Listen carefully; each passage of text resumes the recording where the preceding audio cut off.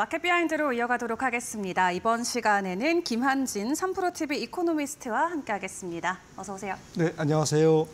네, 지난주에 연준의 big cut 이후에 파월 의장이 어느 정도 미국 경제에 대한 좀 자신감을 보여주긴 했는데 최근에 나왔던 경제 지표를 또 봤을 때는 막상 소비자들은 그렇게 느끼는 것 같지 않다라는 느낌도 들더라고요. 최근에 소비자 신뢰 지수가 3년 내 최대폭까지 하락을 했는데 시장에서 저희가 어떻게 좀 이 부분을 받아들여야 될까요? 네, 경제 지표에는 이제 소프트 지표와 하드 지표가 있는데요. 네. 소프트 지표는 이제 심리, 뭐 PMI라든지 어제 발표된 에, 그저께 발표됐죠. 소비자 신뢰 지수라든지 이런 그 설문조사를 통해서 에, 소비자나 기업의 향후 경제에 대한 전망을 이제 문의 물어보는 에, 그러한 설문조사식 그 전망 경제 지표가 있는데 이러한 그 소프트 지표들은 조금 안 좋습니다. 네. 에, 왜냐하면 이제 어, 경제가 조금 안 좋은데라고 생각하는 쪽으로 많이 기울어져 있습니다. 에, 그래서 어, 하지만 이제 조금 하드 지표, 네. 에, 소비 지출이라든지 음. 예, 실제로 소매 매출이라든지 이런 것들은 강하거든요. 네.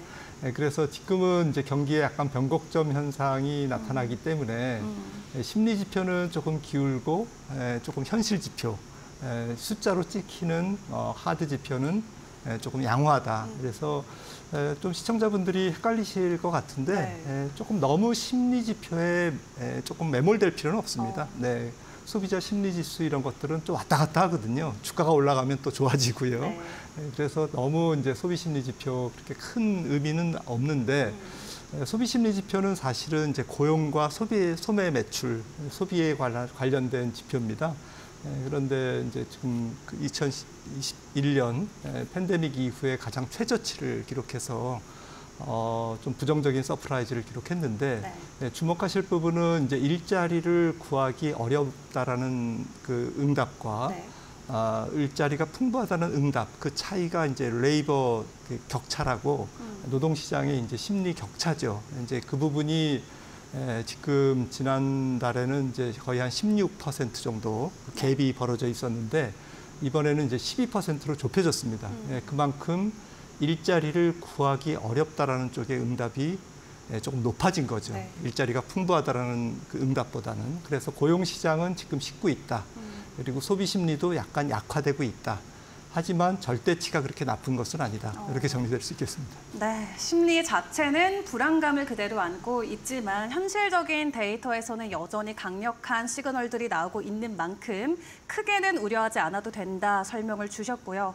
어, 그럼에도 불구하고 다음번에 있을 FOMC를 놓고 사실 시장에서는 다시 한번 비컷에 대한 가능성을 제기를 하고 있습니다.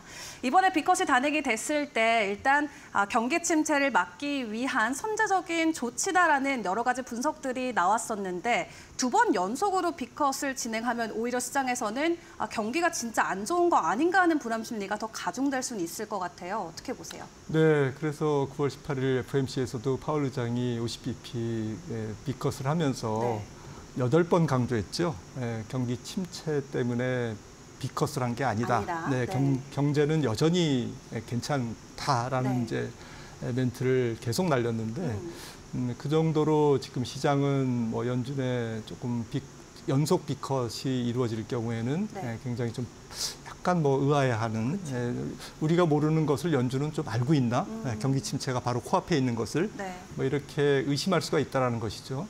예, 그런데 파월 의장의 전 음, 9월 FMC의 이제 발언이라든지 또 선언문 이런 것들을 좀 종합해 봤을 때는 비컷도 가능합니다. 에, 지금 페드워치 시장에서의 이제 선물 시장에서 지금 그렇게 약간 높아지고 있는데 네. 에, 저는 개인적으로는 25bp를 생각하지만 음. 50bp나도 뭐 불가능한 것은 아니다. 왜냐하면 어, 파월 의장은 분명히 얘기했습니다. 에, 이거를 뭐 내년까지 200bp를 인하하는 것을 에, 연준 위원들은 지금 선호하고 있다라는 거고요. 네. 에, 그러니까 조삼모사인 거죠. 앞에 많이 내리고 뒤에서 적게 내릴 거냐, 네. 아니면 균등하게 내릴 거냐, 에, 또박또박.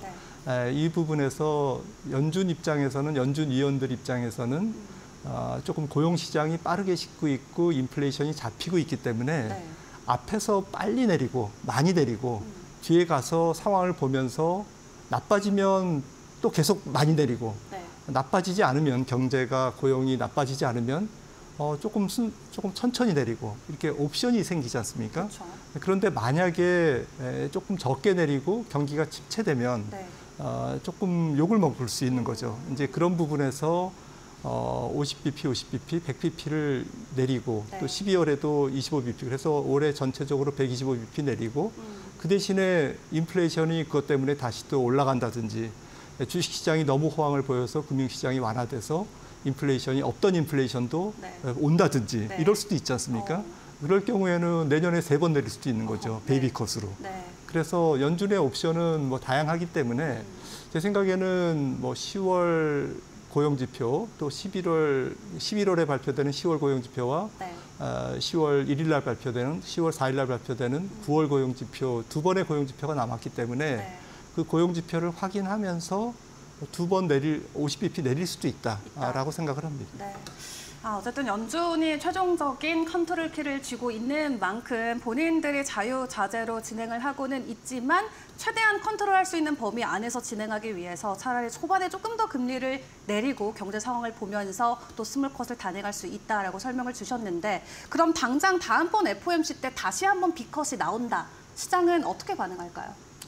어, 일단 환호하겠죠. 예, 고용 지표가 뭐 11월까지 10월 고용 지표까지 그렇게 부러질 가능성은 높지 않기 때문에 네.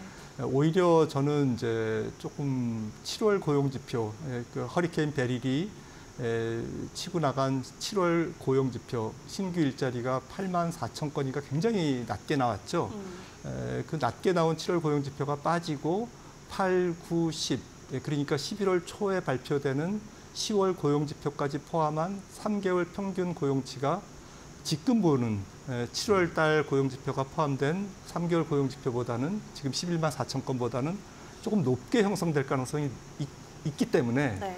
예, 결론적으로 11월의 피컷은 어렵다라고 이제 음. 저는 보고 있는 거고요. 네. 만약에 제 생각이 틀리고 어, 10월, 11월 고용지표, 아, 아, 그러니까 9월, 10월 고용지표, 어, 10월 초와 11월 초에 나오는 9월, 10월 고용 지표가 망가진다. 네. 예, 그러면 연준 입장에서는 어, 50bp 인하야죠. 음. 예. 네. 지금 나오고 있는 경제 지표를 아, 현재 미뤄봤을 때 11월에 아마도 비컷을 단행하기는 어려울 수 있다. 하지만 연속으로 한다고 하더라도 시장에서는 환호할 가능성이 크다라고 예상을 해주셨습니다. 자, 연준에 이어서 그리고 중국 쪽에서도 부양책 공개를 하면서 금리 인하에 대한 기대감 시사를 하고 있고요. 글로벌 유동성 자체가 증가될 수 있다라는 기대감과 함께 최근에 위험 자산을 선호하는 선호 심리 자체도 많이 회복이 되고 있는 것 같습니다. 아, 로이터에서도 이번에 중국 측이 공개했던 부양책을 놓고 코로나 이후로 가장 공격적인 부양책이다라는 평가를 내놓기도 했는데 또 한쪽에서는 이것도 부족하다라는 입장도 있더라고요. 박사님 어떻게 보셨나요? 네, 결론적으로 지금 중국의 경, 중국 경제의 가장 큰 문제는 부채 조정입니다. 네. 예, 부채 쪽에서 아, 부동산 쪽에서 부채가 많이 예, 형성돼서 이거를 상각해야 되는 의무, 음. 예, 지방 경 지방 정부 부채와 또 지방 정부가 설립한 특수목적법인 LGFP라 그러죠. 네. 그 특수목적법인의 부채, 기업 부채. 예, GDP 대비 지금 중국의 민간 부채가 200%입니다. 음. 이 200%의 어마어마한 GDP 대비 부채를 상각해야 되는 거기 때문에 거기서 이제 경제가 타격을 입고 있고 하지만 중국 정부 입장에서는 그걸 그냥 방치해서는 에, 청년 실업률이 18% 이렇게 넘는 그런 상태에서 어렵지 않습니까? 그래서 어, 고육지책으로 강력한 부양책을 지금 꺼, 끄집어냈고요. 네. 이번에 좀 특이한 것은 기관 투자가와 상장 기업의 자금을 융자해서 8천억 위안을 융자해서 음. 에, 좀 증시 부양까지도 지금 그 같이 하, 네. 고 있다라는 부분이 그래서 중국이 에, 어쨌든 육개, 육거래일 계속 올랐죠. 네.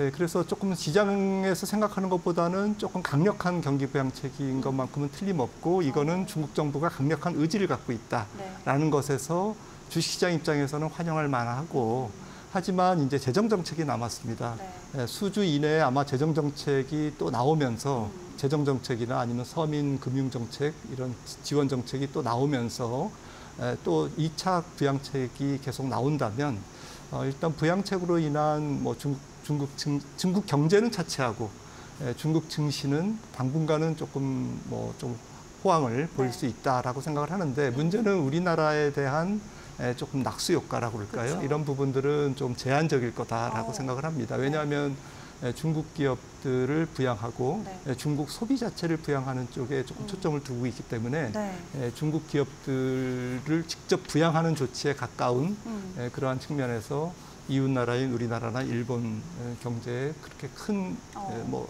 전혀 없다라고 볼 수는 없지만 네. 에, 좀 그렇게 큰 낙수 효과는 없을 네. 거다라고 생각을 합니다. 네, 이번에 중국의 부양책 이후로 글로벌 증시가 모두 손을 잡고 함께 올랐던 나날을 보냈는데 우리 국내 증시만 놓고 봤을 때는 낙수 효과가 어느 정도는 좀 미비할 수도 있다 말씀을 주셨습니다.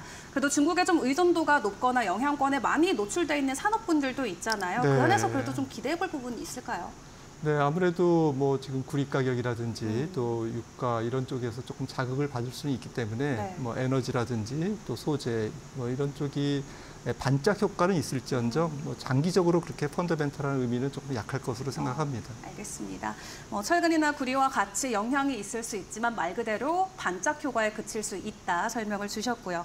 자 그리고 일본 쪽의 상황도 함께 점검을 해보도록 하겠습니다. 엔캐리 청산 사태로 우리 증시에게도 엄청난 충격을 줬었는데 이번에는 금리 동결에 나섰습니다. 어떤 의미를 포함하고 있을지 궁금한데요. 네, 첫째는 금융시장이 불안해지는 것을 원치 않는다라는 음. 이제 일본 중앙은행의 입장인 것 같고요. 네. 또 뭐 같은 얘기가 되겠습니다만 엔화가 지나치게 빠르게 강세로 가면서 에, 수출 중심의 일본 기업들이 좀 타격을 받는 것을 원치 않는다라는 네. 것이 이제 두 가지 의미가 내포되어 있는 음. 것 같습니다. 그래서 아, 사실은 이제 통화 정책의 결과로 환율이 움직이는데 아, 당분간은 일본 BOJ는 에, 환율을 보면서 통화 정책을 펼치, 펼치 지 않을까라고 이제 저는 생각을 하고 그렇죠. 있고요. 네. 예, 그런 측면에서 엔화가 다시 또 조금 안정이 되면 그러니까 약세로 가면 지금 144엔대지 않습니까? 음. 다시 또 147엔, 8엔 이렇게 가면 아마도 이제 10월에 금리를 조금 인상할 것 같고요. 어. 예, 그렇지 않고 다시 140엔 근처로 이제 엔화가 또 강세를 보인다 그러면 아마 10월도 건너뛸 가능성, 금리 인상을 건너뛸 가능성이 있다. 그러니까 속도 조절에 들어갔다. 아, 좀 금리를 인상하는 것은 뭐 추세적으로 BOJ가 가지고 있는 기본적인 전략이지만 네. 에, 금융시장과 또 환율의 급격한 변동을 에, 조금 억제하는 선에서 금리를 네. 조절하지 않을까 생각을 합니다. 네, 금융시장의 이런 불안감들을 의식한 행동일 수 있었다 설명을 주셨고, 자 일단 이로써 미국을 뭐 포함해서 유럽, 뭐 북미 국가들, 캐나다 그리고 중국까지 이제 지준율 인하에 나서면서 전 세계 글로벌 증시가 모두 다 금리 인하에 대한 기대감을 안고 있는데 아직 우리나라만 조금 멈춰 있는 상태거든요. 언제쯤 단행할 수 있을까요? 네, 지금 뭐 10월보다는 11월이 좀 이렇게 보이고요. 아무래도 이제 가계 대출 또 가계 부채, 가계 신용 이런 부분들이 문제가 되고 있기 때문에 네. 에, 조금 미국보다는 한 템포 느리게 하지만 뭐 만약에 에, 조금 연준이 확실하게 11월에 50bp를 인하하는 것이 조금 유력하다라고 이제 조금 방향성이 잡히면 10월에도 가능하겠죠. 하지만 그것보다는 앞서 말씀드렸듯이 조금 25bp 인하로 굳혀지면 네. 우리나라는 10월보다는 조금 한 템포 쉬어서 어. 어, 조금 11월 마지막 금통위에서 인하하지 않을까 생각을 하고 있고 어, 내년까지 연준이 한 200bp 예, 금리를 인하한다, 2, 2%포인트 인하한다고 한다면 한국은행은 뭐 한 150bp 정도, 예, 그 정도 선에서 미국보다는 조금 낮은 네. 예, 금리 인하 폭을 보이지 않을까 생각을 합니다. 네, 알겠습니다. 만약에 다음에 빅컷 진행이 안 된다라고 했을 때 우리의 금리 인하는 11월까지 한 차례 또 밀릴 수 있다라는 거 기억해 주시면 좋을 것 같습니다. 오늘 박사님과 여기까지 함께 하도록 하겠습니다. 수고하셨습니다.